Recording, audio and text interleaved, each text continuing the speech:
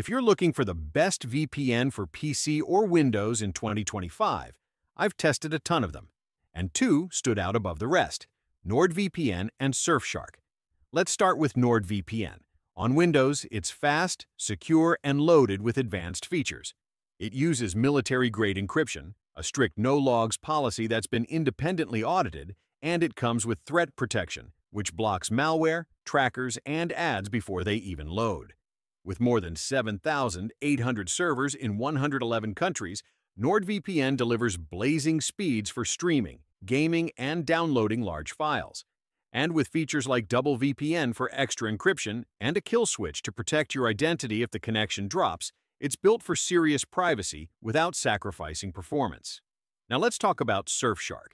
It's one of the cheapest premium VPNs you can get, but it doesn't cut corners.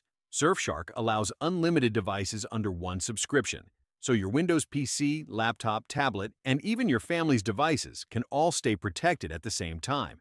It also comes with CleanWeb, which blocks ads and phishing attempts, plus multi-hop for extra security and camouflage mode to hide VPN use completely. Performance is excellent for streaming, browsing, and gaming, and considering its price, it's hard to beat for value. So, which one should you choose? In my honest opinion, NordVPN is the best option overall if you want the fastest speeds and the most advanced privacy tools on your Windows PC. But if you want a budget-friendly alternative that still packs in premium features and unlimited devices, Surfshark is a fantastic choice. Right now, you can find exclusive discounts for both NordVPN and Surfshark at TechShieldReviews.com. It's a trusted site dedicated to VPNs and cybersecurity with expert reviews and verified deals that actually work, not fake coupon codes. I've left the link in the comment below so you can grab the best price today.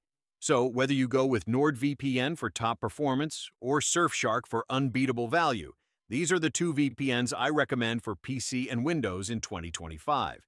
If this review helped you out, hit like, drop a comment, and subscribe for more honest VPN reviews and tech tips.